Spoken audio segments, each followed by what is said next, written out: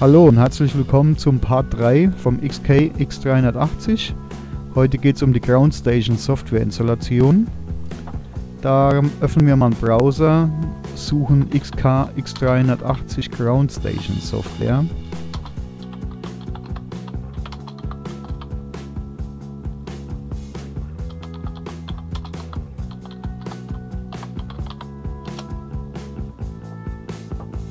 Sollten in den Suchergebnissen X380 Firmware and Driver Quadcopter Flyers finden und das öffnen wir da. Der genaue Link fürs Quadcopter.com Downloads X380 ist oben in der Beschreibung jetzt. Dann runter scrollen auf der Seite und den Driver, also den Treiber und den Flight Control Config Software runterladen und speichern.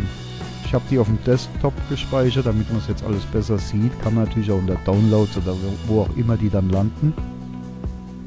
Dann müssen die extrahiert werden. Das kann man mit äh, 7-Zip-Org. Da kann man sich eine freie Software runterladen zum Entzippen, falls man noch keine hat.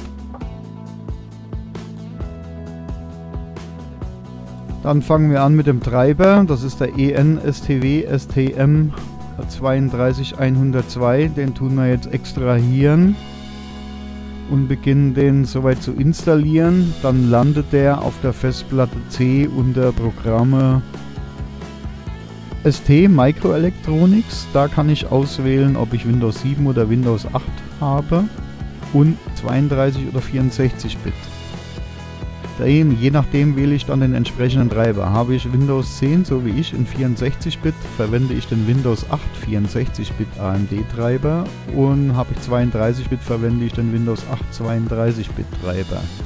Wenn ich dann die richtige Wahl getroffen habe, installiere ich den entsprechenden Treiber.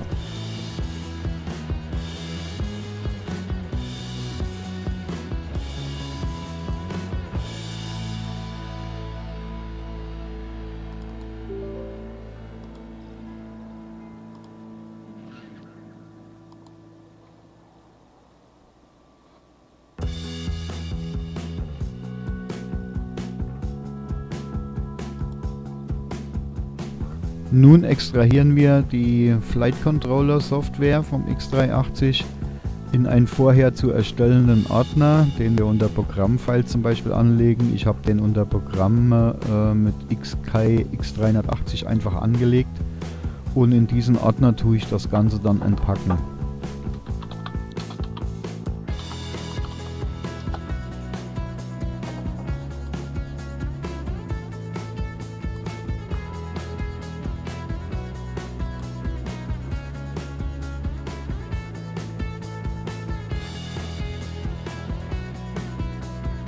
Nun kann ich das Ganze mit Flight CTRL Config starten und das läuft jetzt schon. Allerdings empfehle ich das Windows äh, zu neu zu starten, weil das macht wegen dem Treiber erst schon mal Sinn.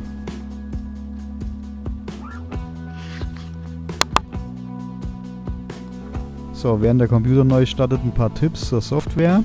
Diese Software ist durchaus in der Lage, den ganzen Copter zu zerstören. Das heißt beim Flashen den Flight Controller und dann ist er quasi unbrauchbar. Daher nur anwenden, wenn ich weiß, was ich tue. Never change the running system ist ein guter Tipp. Also wenn das ganze Ding fliegt, lasst ihn einfach in Ruhe und vergesst das mit der Software. Ansonsten sind die einfachen Einstellungen wie Geschwindigkeit beim Return to Home oder die Höhe und äh, ein Geofence, also ein Zaun für die Entfernung und Höhe und so weiter. Diese Sachen sind äh, einfach einstellbar und normalerweise auch risikolos zu verwenden. Aber wie gesagt, die ganze Software wird auf eigene Verantwortung äh, verwendet und wenn dann was äh, daneben ist, ist das ein teurer Spaß. Wenn ihr möchtet, könnt ihr nun die extrahierten Ordner bzw. auch die Download-Dateien löschen.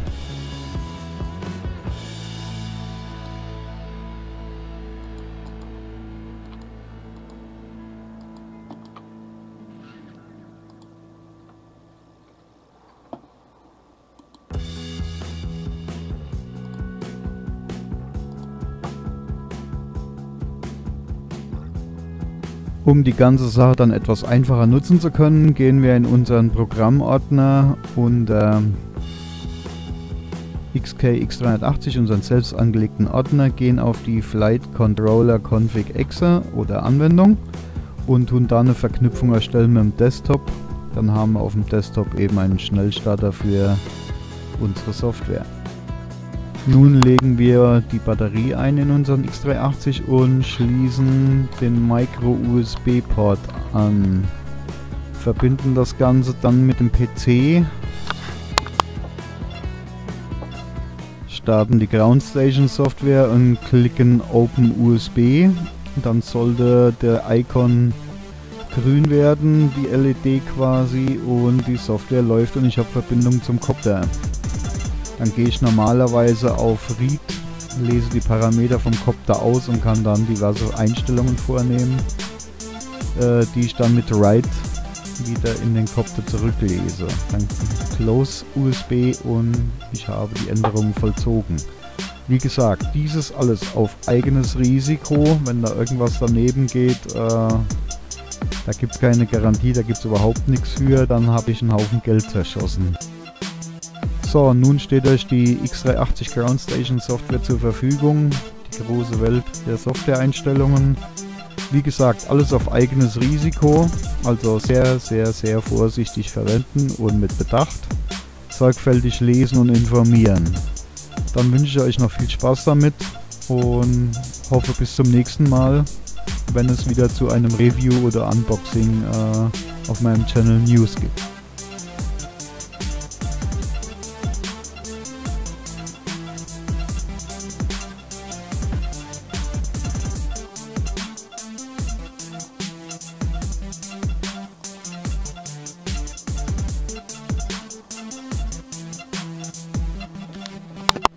Und noch ein Tipp, wenn ihr nicht wisst, welche Windows-Version ihr habt, Einstellungen, System, Info. Da könnt ihr lesen, welche Windows-Version und welche Bit-Version ihr habt und somit den richtigen Treiber wählen.